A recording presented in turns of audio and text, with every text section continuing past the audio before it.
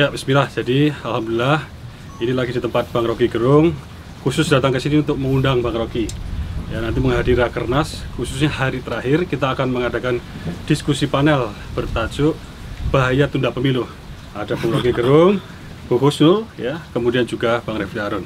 Gitu Bang, silakan. Ya bahaya tunda pemilu itu dalam frasa lain artinya bahaya memperpanjang kekuasaan gitu tuh. Dan kita nggak boleh uh, punya bayangan bahwa kekuasaan itu unstoppable. Dia mesti dihentikan itu. Karena kita tahu demokrasi itu artinya sirkulasi elit, bukan elit-elit itu aja tuh. Nah, itu pentingnya uh, saya mendorong Partai Umat supaya terus mengucapkan hal-hal yang jadi inti dari demokrasi yaitu perubahan kekuasaan. Jadi kekuasaan itu nggak boleh menetap dalam sistem demokrasi. Lain kalau sistem kerajaan tuh. Yang kedua adalah saya ingin uh, masyarakat Indonesia meng mengakui bahwa antropologi bangsa ini uh, mayoritas adalah identitas Muslim. Dan itu uh, bagian yang penting dalam bangsa kita.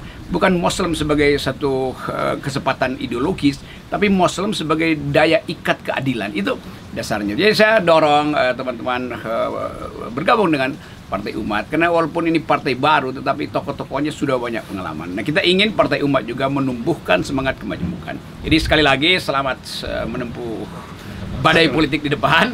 Tapi saya tahu bahwa tiang yang kuat apalagi tiang umat itu yang basisnya adalah agama, sejarah dan kemajemukan akan mampu membuat partai ini berlabuh di teluk yang teduh. Rocky Gerung akan ada di Rakernas. Kita akan uh, bicara di situ tentang masa depan bangsa. Ini teman saya ini Edo masih muda memimpin partai. Oke. Okay? Terima kasih. Pak Salam akal sehat, salam buat Pak Amin. Terima kasih. Hmm? Mantap.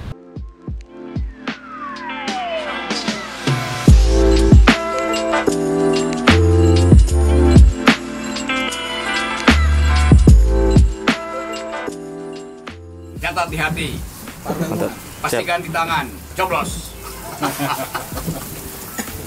ya oke okay.